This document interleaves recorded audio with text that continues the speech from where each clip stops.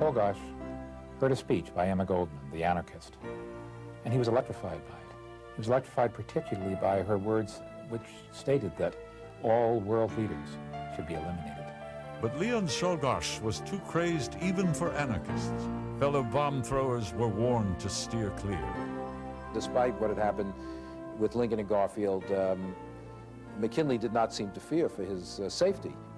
He went up to Buffalo to take part in one of those World's Fairs that were held at that time, the Pan American Exposition, and uh, with very little security.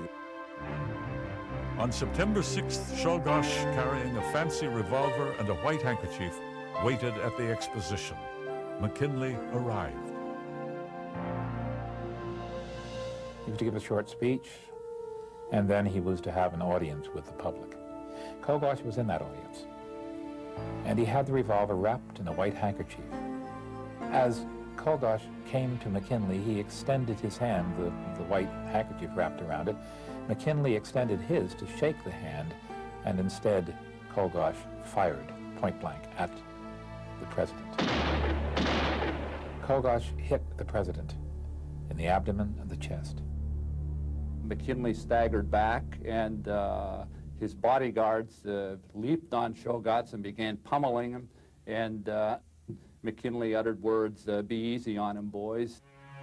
Their failure to uh, locate the bullet, uh, largely because of McKinley's obesity, led to his death about a week later from complications. When McKinley died, uh, of course, was arraigned on first-degree murder charges, and after a very swift trial, the trial was over in eight hours, uh, was sentenced to death. He was executed by electrocution. His last words were, I killed the president because he was the enemy of the people, the working people.